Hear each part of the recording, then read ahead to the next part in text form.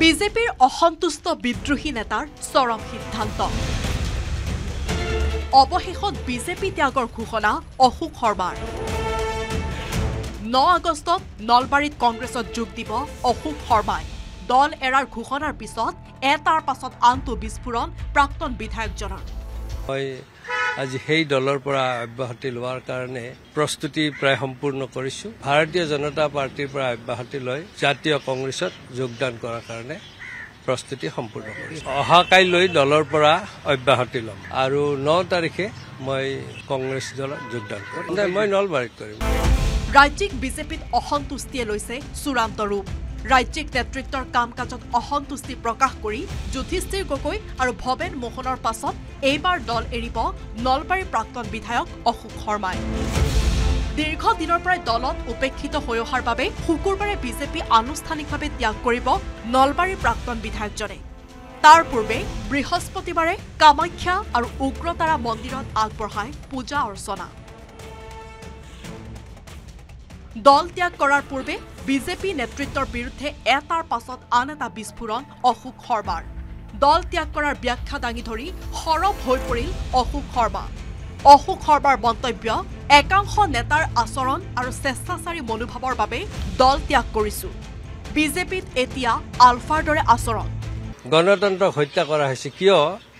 যে দলৰ যদি কিবা বেয়া কথা কয় সেইগৰাকী মানুহক এলাগী কৰে। আৰু এই প্ৰক্ৰিয়া আমি আলফাত দেখিছিলোঁ।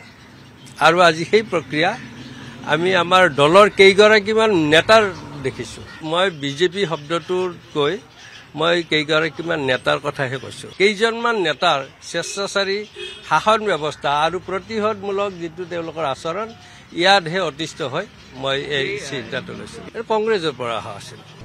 তিনি বছৰ ধৰি দলত যন্ত্ৰণাময় জীৱন নিৰ্বাহ কৰাৰ অভিযোগ তুলি অশোক শৰ্মাই ক'লে বিজেপিত এতিয়া প্ৰমূল্যবোধৰ ৰাজনীতি নাই। হিন্দু মুছলমানৰ ৰাজনীতি কৰাৰ বাবে ক্ষতি হ'ব বিজেপিৰ। যিটো আমাৰ শ্লোগান আছিল যিটো আমাৰ নীতি আছিল সেই নীতিটোৱে এওঁলোকে পৰিত্যাগ কৰিছে। আনকি তেওঁ আপোনালোকে দেখিছে যে আজি হিন্দু মুছলমানকৈ সমাজখন ভাগ ভাগ কৰিছে এওঁলোকে। এওঁলোক অহাৰ আগতে কিন্তু আমাৰ বিজেপিত তেনেকুৱা বক্তৃতা বা কোনো ধৰণৰ এই ব্যৱস্থা নাছিল। ভাগ ভাগ কৰি ভোট লোৱাৰ ব্যৱস্থাটো নাছিল। লগতে কংগ্ৰেছৰ পৰা আহি বিজেপিত যোগ দিয়া নেতাৰ বিৰুদ্ধেও ক্ষোভ প্ৰাক্তন বিধায়কজনৰ। যোৱা তিনি বছৰে মই কেনে যন্ত্ৰণাময় পৰিৱেশত আছো সেই কথাটো ইতিমধ্যে আপোনালোকেও নিশ্চয় গম পাইছে। গতিকে বাৰে প্ৰতি এইবিলাক কথা আৰু কোৱাৰ দৰকাৰ নাই। মই তেওঁলোকৰ বিৰুদ্ধাচাৰ কৰিয়ে মই ভাৰতীয় জনতা পাৰ্টী পাৰ্টীৰ পৰা অব্যাহতি ল'ব। ইফালে অশোক শৰ্মাৰ লগতে বিসম্বাদী বিজেপি নেতা ৰাজেন গোহাঁয়েও পৃথকে চলাইছে দল ত্যাগৰ যুঁজা। যাৰ বাবে বুধবাৰে তিনিচুকীয়াত ন পুৰণি বিজেপি নেতাৰ সৈতে মিলিত হ'ল ৰাজেন গোহাঁই। সেই সভাখনলৈ নিমন্ত্ৰণ জনাইছিল অশোক শৰ্মাকো। সেইখনত মোকো নিমন্ত্ৰণ দিছিল। ৰাজনৈতিক যিটো পৰিক্ৰমা বা যিটো ব্যৱস্থা এই ব্যৱস্থাটো অসমখনৰ সকলো ঠাইতে সমান নহয়। আৰু সেইকাৰণে মই তাত যিখন মিটিং হ'ল সেই মিটিংখনলৈ মই যোৱাৰ ইচ্ছাটো প্ৰকাশ নকৰিলোঁ। অৱশ্যে নগঞা নেতা ৰাজেন গোহাঁইৰ গোপন বৈঠকক লৈ অজ্ঞতা প্ৰদৰ্শন নগাঁৱৰ বিধায়ক ৰূপক শৰ্মাৰ। এতিয়ালৈকে কোনো শুনা নাইকিয়া যে বৈঠকত মিলিত হৈছে তেনেকুৱা মই একো নাজানো। মোৰ মোৰ বোধেৰে ৰাজেন গোহাঁইৰ দৰে এগৰাকী জ্যেষ্ঠ ব্যক্তি সকলোৱে শ্ৰদ্ধাৰ ব্যক্তি দলৰ আমাৰ কাৰণে তেওঁ এগৰাকী তেওঁ মানে পৰামৰ্শদাতা তেওঁ দলটোক পৰামৰ্শ দিব। গতিকে তেওঁৰ দল ত্যাগ কথাটো ইয়াত আহিবই নোৱাৰে।